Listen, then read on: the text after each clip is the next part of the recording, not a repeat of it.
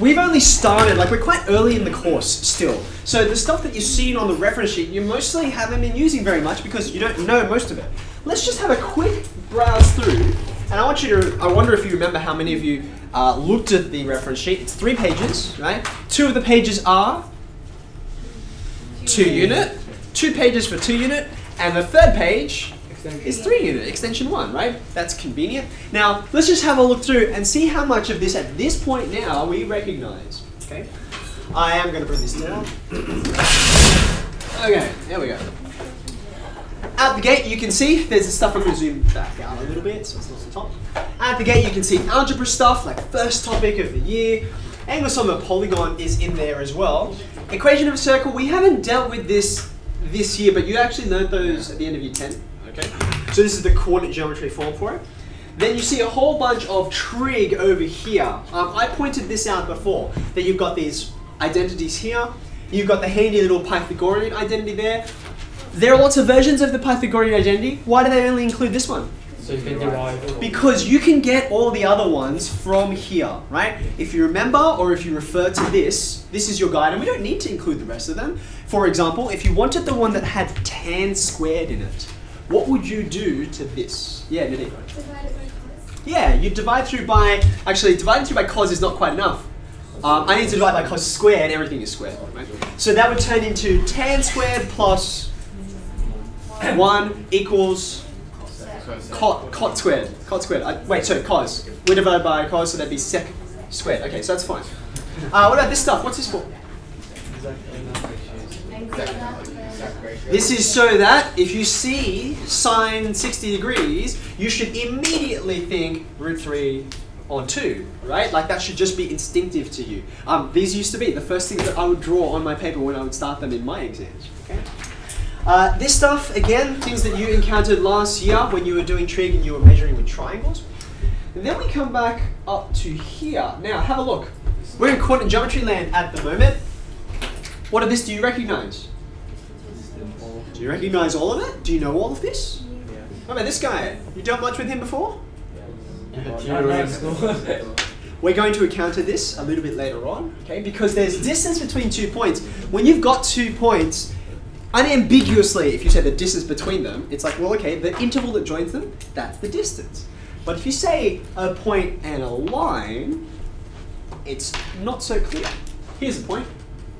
Here's a line. If I say the distance, right, do I mean like walking along this way or that way? In order to make sure that we can communicate this in a way that's consistent, we say the perpendicular distance, which is also the shortest distance. Okay, we'll come to this later on in proving where this weird awkward result comes from. Distance, there's gradient, there's a uh, line form which we're going to have a look at later this lesson actually. There's a notable absence from there, like there's a line right there. You learned three formulas, you learned them really well to do with uh, two points in coordinate geometry. What's the missing one?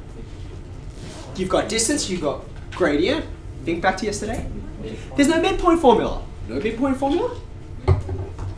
There is a midpoint formula. Remember, I said, or we said, uh, if we go to this trig stuff here, we include this result. We don't include any of the other um, ones that come out of this because you can get to them from here.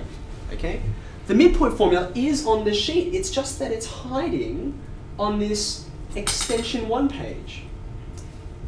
Again, let's have a look down and see if we can recognize stuff. We've done all this, right? This is ringing bells, yes? So there's just your regular expansions. There's your T results right there, that's convenient. We haven't quite got to this yet. There will be a time. But then I want you to have a look at this. Okay, now there's a couple of things to point out. Firstly, I already said to you, there's a midpoint formula on the sheet. There it is. Do you recognize it? Um, the midpoint of an interval is you take an interval and you divide it into a given ratio. What ratio does the midpoint divide into? One to one. They're the same, aren't they? And you used congruent triangles yesterday to work with that, right? Well, if the ratio is one to one, look at all the m's and n's, right? What happens if you change all of those into ones? This becomes a norm. You get you get x1 plus x2 on 2. And then you get y1 plus y2 on, that's the midpoint formula. So it is there, just like sine squared plus cos squared equals 1, you can get to it from there if you like. Now I actually want you to turn to your book where you did your work yesterday. You wrote down a formula for uh, internal division of an interval, but it wasn't this one. The one that Mr. Dennis gave you was one which uh, is very commonly used. I learnt it when I was in year 10 and 11. And uh, the textbook also uses it. It uses different letters and it uses a different order. Can you look and see the difference? I'm pretty sure if my memory serves. Yes, the form that you wrote it in. I think the form you wrote it in was like this. Does that look similar? Yes. And then of course the y's are, you know, the same thing but y's, okay? So have a look. This is tricky because unlike, say, I won't scroll back, you guys know it well enough. Unlike the distance formula and the gradient formula and the midpoint formula, it doesn't matter really where you put your x1s and your x2s. But here, it matters a lot. You get a whole different point if you swap these things around, right? So I want you to notice, okay, the way that this has been written is to make the comparison with midpoint formula a little bit easier. Right? You see it's x1, x2, so you have your points in order. The upshot of that is have a look at the ratios. On the top, they're not, and Mr. Dennis made this exact point, they're not in alphabetical order. Do you notice that? And that matters.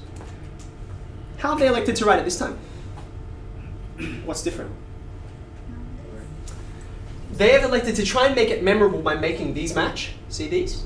But the upshot of that is, well, if you have this in alphabetical order, unlike us, you have to swap around. Does that make sense? Now, I will leave it up to you which you prefer. Um, I mean, I have a preference for that one, but that's because that's the one that I learnt from ages ago, so that's just where my brain defaults. Um, I do also like the fact that they don't use M, because in coordinate geometry, M means something significant all the time, um, namely gradient, so that's why I tend to avoid it. But what I want you to avoid is being confused in the exam because you have two different formulas in your head that conflict with each other okay? Um, if you're going to rely on this thing, then you want to like predict ahead of time, okay, am I going to use this form, their form, or the one that I've learned, if that's the one you prefer. Does that make sense?